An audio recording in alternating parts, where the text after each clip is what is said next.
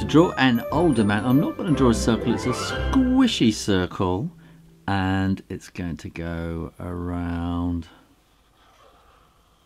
like that. So it's kind of squished in a little bit.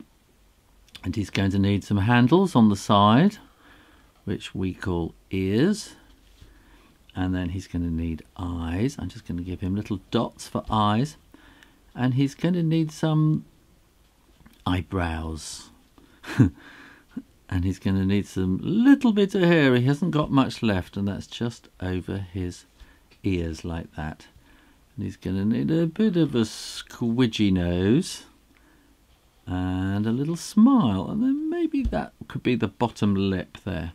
Now I'm going to give him a bit of a neck, just two little bits down like that, and then look, I'm going to do a cross one and two like that and then join those bits there and that's the colour of his shirt.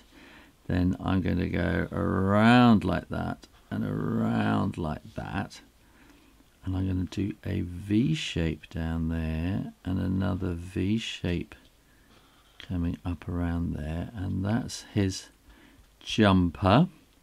And I'm going to do a little box and two lines and that is his tie two lines there for his armpits. And I'm going to give him a nice blue jumper and a red tie.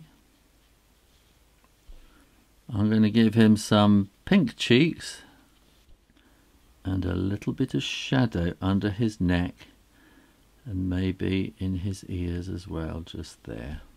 And also just under his collar.